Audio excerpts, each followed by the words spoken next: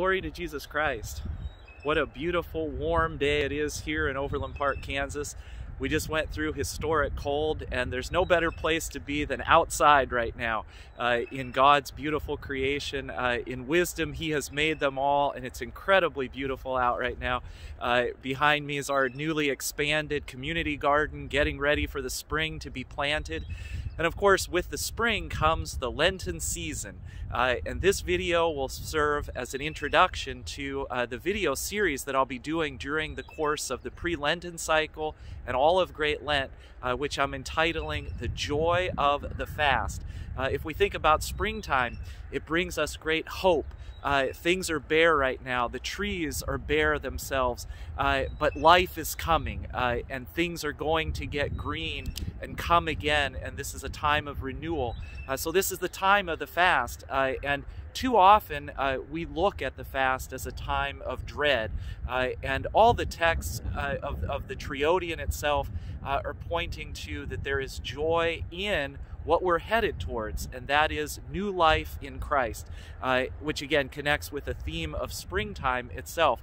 Uh, so these videos will be done uh, each day that there are texts from the Lenten Triodion, uh, and what I'll do is I'll reflect on a few of the texts of each day uh, that, that talk about the theme of being joyful and the joy of the fast itself.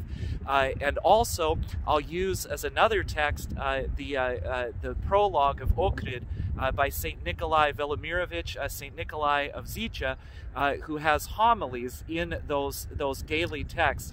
Uh, and so that I'll have reflection on the text from the Triodion and then also uh, from St. Nikolai's sermon. So that'll be the content of uh, the videos that will come out or once we get into uh, right before uh, Meatfare Sunday, they will be daily. Leading up now with the pre-Lenten cycle, they'll just be on Sundays. Uh, so the, the next video will be on Sunday about the uh, parable of the publican and the Pharisee. Uh, so that's what will be happening during the fast. and I want to read to you from the Lenten Triodion uh, if you don't have the book, I highly encourage you to get it, uh, uh, if nothing more than to be able to read the articles in the introduction to the book uh, by Bishop Kallistos.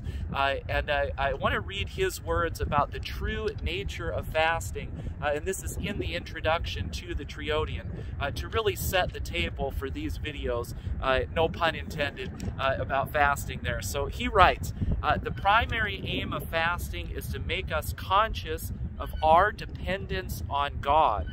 If practiced seriously, the Lenten abstinence from food, particularly in the opening days, involves a considerable measure of real hunger and also a feeling of tiredness and physical exhaustion. The purpose of this is to lead us in turn to a sense of inward brokenness and contrition, to bring us, that is, to the point where we appreciate the full force of Christ's statement, Without me, you can do nothing, from John 15.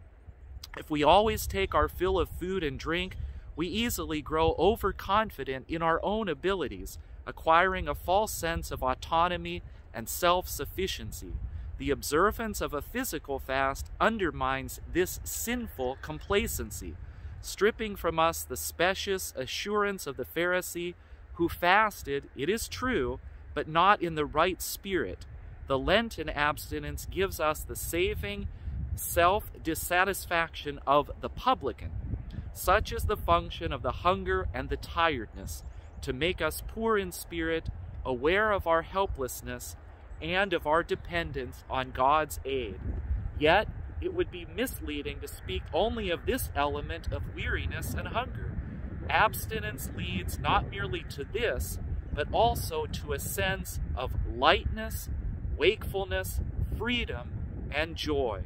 Even if the fast proves debilitating at first, afterwards we find that it enables us to sleep less, to think more clearly, and to work more decisively. As many doctors acknowledge, periodical fasts contribute to bodily hygiene while involving genuine self-denial, fasting does not seek to do violence to our body, but rather to restore it to health and equilibrium. Most of us in the Western world habitually eat more than we need. Fasting liberates our body from the burden of excessive weight and makes it a willing partner in the task of prayer, alert and responsive to the voice of the Spirit. Uh, so this really puts in context what we're doing to ultimately get to the joy of knowing that, well, first of all, that we need help in life, that God is there to help us. This is our joy. This is our help. Uh, and everything that we do is leading to Christ's joyous third day resurrection. Uh, so again, these videos will be done almost daily. Uh, the next one coming out on Sunday, and I pray that they will be profitable. Uh, and I'll turn around here so you can be able to see uh, our beautiful church uh, in the snow uh, and in again this balmy weather that we're experiencing now. glory to Jesus Christ and have a blessed, wonderful beginning, a joyous beginning to the pre Lenten cycle and then nothing but joy throughout the fast.